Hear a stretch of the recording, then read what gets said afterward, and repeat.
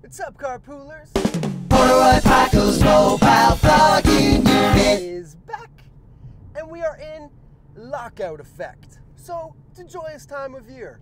Fall, my favorite time. Why is that? Number of reasons. First of all, by the time summer's over, I'm about done with summer. After a while, it just gets too hot and too humid. I want to sleep with covers on. I just kind of want to be all snug like a bug in a rug. But fall, air gets a little crisp. Just a little crisp to it. It's like, oh my goodness. Do I need to wear a sweater? Yes, I do. I'm not though, but I was earlier. I just didn't think the sweater looked right. It was white and just kind of like, what's up? You know, regardless. Another reason I like the fall is because it's the time when my favorite sport starts. Hockey. Record scratch? Not this year, huh, kids? No, no, no. NHL lockout. Hmm. Who's unimpressed? Everyone is unimpressed. Another hockey lockout? Really? Really? Really? Really? Really?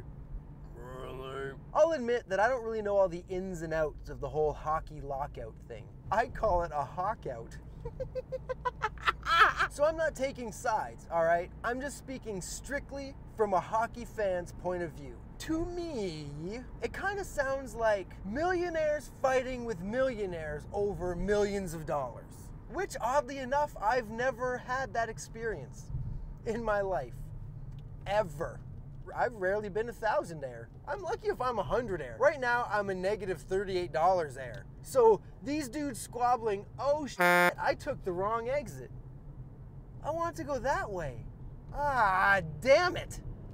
Because the exit turns that way, I was like, oh yes, I'm going this way. Wait, it curls around like a curly fry, and I'm going the wrong way. I'm really hungry. That's where the curly fry reference came in. This happens far too often, but I digress. And also, the hockey players are locked out. They're not on strike. So now they're all going to play overseas in Europe or in other weird leagues around the way. And you see interviews with them now, and they're always like out of breath because they just played a game anyway. And they're like, yeah, I really hope this gets settled. I do understand they're not making as much. Oh, I can't play here. I'll go play here. And I don't know how the owners make money or what they do or how they make their money, but I'm probably thinking that right now they're not hurting so bad. I'm going the right way now. But here's the thing here's the people I feel who are really getting hit hard by this. It's the people working concessions, it's the people who have the parking lots, it's the people selling the merch, selling the beer. And then there's also the fans. The fans are the people who pay for the parking, who pay for the $10 beers, who pay for the $8 hot dogs that are just like regular stupid hot dogs anyway. We buy the stupid merch. We go to every game even though our team never makes the playoffs ever, ever, ever, ever. And again, I'm talking about something I know very little about. So if any NHL player actually comes up to me and confronts me about this, I'm gonna fold like a piece of wet bread. But I will probably ask for an autograph and see if you'll come in here for an interview.